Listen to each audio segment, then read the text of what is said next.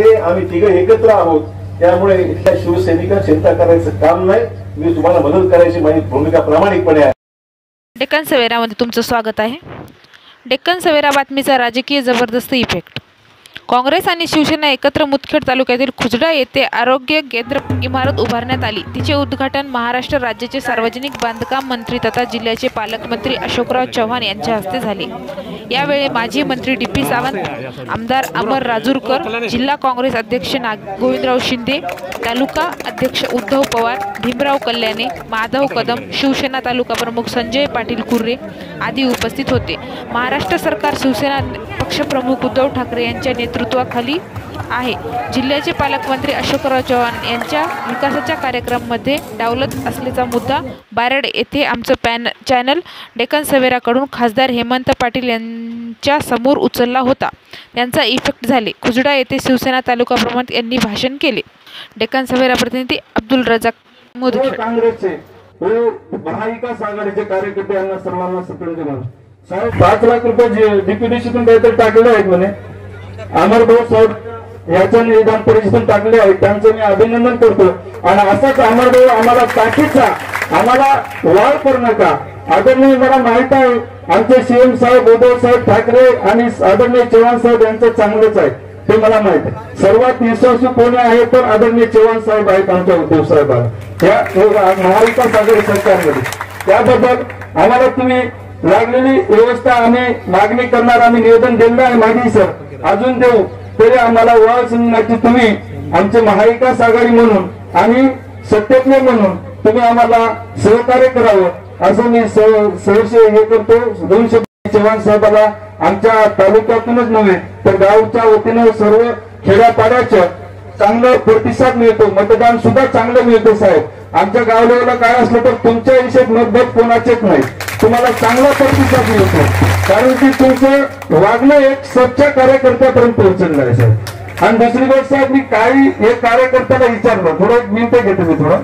एका कार्यकर्त्याला सहज विचारलं बाबा फलानं तुझं काँग्रेसचा हो मग फलानं साहेबाला मतदान काय करतोस? आम्हाला काय करणार शिवसेनेला? तो साहेब काय म्हणला मी साहेबांच्या पक्षाला ओळखत नाही. मी चव्हाण साहेबाचा पंजा होऊन मी पंजाला मतदान करतो. मी पक्षाला ओळखत नाही मी चव्हाण साहेबाला ओळखतो. असं म्हटल्यानंतर थोडस आमची थोडस कुठे कमी होतात आणि असं काही इष्टजोडचं मंडळ हे धरू नका की मी साहेबाच्या जवळ असं काही हे धरू नका. मी तुमचा तरी असं काही हे नाही. सध्या महाविकास आघाडी आहे म्हणून मी तुमच्या साहेबाच्या जास्त विवेक्समध्ये असलं काय तुमच्या पोटात हे बोलू देऊ नका. मी काय या जिल्हा परिषद सरकारचं काही नेतृत्व तुमच्या याचं करणार नाही. तुमचं तुम्ही करा आमचा आम्हाला पक्ष आहे. सध्या साहेबांना आम्ही मिसळून आहात साहेबासोबत आहात साहेब नसली तरी साहेबाच्या काही अडचणी सोडून आम्ही आमचं आम्हाला पक्षाला करावं लागतं. याबद्दल मी सहर्ष एकदा साहेबाच्या सर्व चिंपित्रीच्या फुलाबद्दल व आरोग्य केंद्राबद्दल मी त्यांचा पुनच एकदा अभिनंदन करतो आणि शुभेच्छा देतो. जय जय महाराष्ट्र. मला आज अतिशय आनंद आहे की एक महत्त्वपूर्ण कामाचा लोकार्पण सोहळा म्हणजे आपलं उपकेंद्र आरोग्य उपकेंद्राचं ज्याची किंमत साधारण दीड कोटीच्या आसपास आहे उपकेंद्राचं आज शानदार लोकार्पण आज आपल्या सर्वांच्या उपस्थितीमध्ये या ठिकाणी संपन्न होत आहे. मला वाटतं गुजरातसाठी अतिशय महत्त्वपूर्ण असं हे उपकेंद्र राहणार आहे. मध्यंतरी कोविडच्या कोरोनाच्या काळामध्ये बऱ्याच लोकांचे ग्रामीण भागातल्या लोकांचे बेहाल झाले. प्राथमिक आरोग्य केंद्र ग्रामीण रुग्णालय जिल्हा रुग्णालय सगळं फुल होऊन गेले जागाच नव्हती. आणि म्हणून प्रत्येक ग्रामीण भागामध्ये उपकेंद्र झालं पाहिजे. काही ठिकाणी प्राथमिक आरोग्य केंद्र झालं पाहिजे. काही ठिकाणी ग्रामीण रुग्णालय झाले पाहिजेत आणि काही ठिकाणी उपजिल्हा रुग्णालय आणि जिल्हा रुग्णालय. आणि म्हणून मुख्यमंत्री उद्धवजी ठाकरे यांचं मी आभार मानेन की महाविकास आघाडीच्या या सर्व कामामध्ये तिन्ही पक्ष काँग्रेस शिवसेना राष्ट्रवादी तिन्ही पक्ष मजबूतीने एकत्र आहेत. विचाराने एकत्र आहेत आणि राज्याच्या विकासासाठी सर्वजण कटिबद्ध आहेत मित्र. मला मुद्दाम सांगितलं. नांदेड जिल्ह्यामध्ये जवळपास साडेचार हजार कोटी रुपयाची कामं जिल्ह्यामध्ये आपण आणले नांदेडमध्ये आपल्याकडे न्यायालयाची बिल्डिंग नांदेडमध्ये आपलं सिव्हिल हॉस्पिटल तीनशे बेडचं सिव्हिल हॉस्पिटल मंजूर आपण केलेलं आहे. आणि जिल्ह्यामध्ये अनेक महत्त्वाच्या इमारतीला पैसा सुद्धा आम्ही आणलेला आहे. आपल्या भागामध्ये मगाशी उल्लेख जो आमच्या सेना तालुका अध्यक्ष पुणे यांनी केला.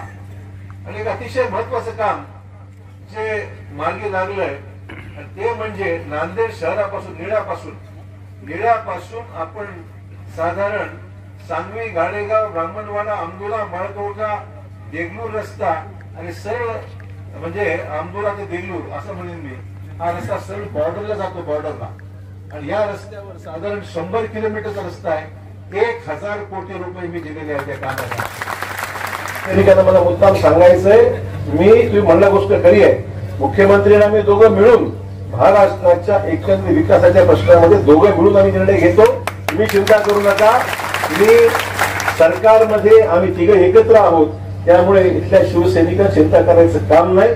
मी तुम्हाला मदत करायची माझी भूमिका प्रामाणिकपणे आहे तुम्हाला मुद्दाम सांगितलं. त्यामुळे एकदा निर्णय घेतलाय आपण की तिन्ही पक्षांनी एकत्र काम करायचंय आहे झालं आता गावात कमी जास्त राहते थोडंफार हे मला माहिती आहे. गावामध्ये कमी जास्त राहते थोडंफार काँग्रेस राहते राष्ट्रवादी राहते शिवसेना राहते बीएसपी राहते काही ना काही चालू राहते. माझं म्हणणं आहे आपला एकोपा कायम ठेवा. आपली महाविकास आघाडी यशस्वी राहिली पाहिजे त्या अनुषंगाने महाराष्ट्रामध्ये जागा जास्तीत जास्त आल्या पाहिजे. महाविकास आघाडी सरकार सुद्धा हेच नाही पुढच्या पाच वर्षात सुद्धा टिकलं पाहिजे आणि अधिक प्रयत्नातून आपल्या विकासाची गंगा जी आहे ती महाराष्ट्रात देणार मराठवाड्यात देणारच आहे नांदेड जिल्ह्यामध्ये सुद्धा मी खेचून आणल्याशिवाय राहणार नाही त्यामुळे या सर्व कामाला तुमचे आशीर्वाद तुमचं सहकार्य नेहमी राहील अशा प्रकारची अपेक्षा करतो आजच्या कार्यक्रमाला आपण समोर आल्याबद्दल आपले आभार मानून आपले रजा घेतो जय हिंद जय महाराष्ट्र